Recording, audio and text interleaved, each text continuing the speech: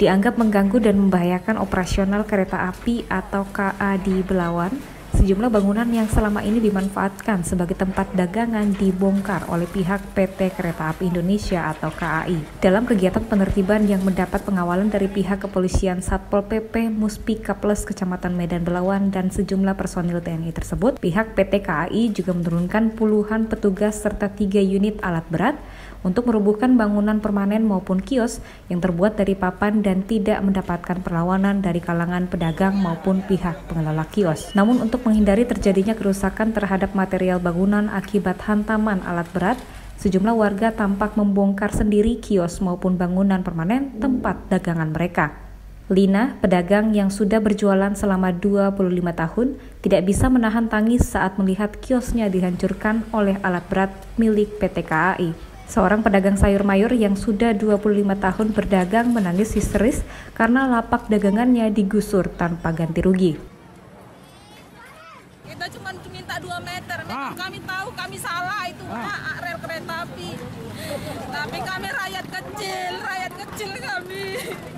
Kami mau makan apa? Kami nggak tahu mencari di mana. Itu tempat memang punya kereta api. Ada surat peringatan tapi hanya dua hari dikasih. Ah. Kami nggak tahu. Apalagi kami dalam keadaan kemalangan. Kami nggak tahu tiba-tiba. Pihak PT KAI mengatakan penertiban dengan melakukan pembongkaran dilaksanakan PT KAI terhadap bangunan maupun tempat dagangan warga yang lokasinya berjarak 4 meter dari sisi kanan dan kiri lintasan kereta api.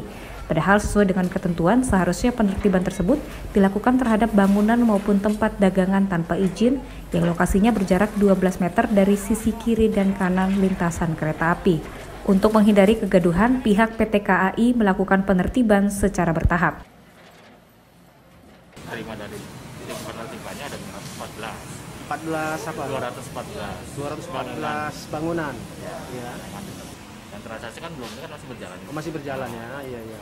Rencananya berapa hari ke depan? Uh, kalau kalau kalau bisa hari ini selesai di sini. Kalau bisa hari ini selesai selesai hari ini. Kan ngapain gitu kan. Gitu ya. Iya iya. Jadi kami apa kan, kira-kira kompensasinya? Jadi kan kami menentukan yang berada di di atas aset kami dan tidak berkontrak.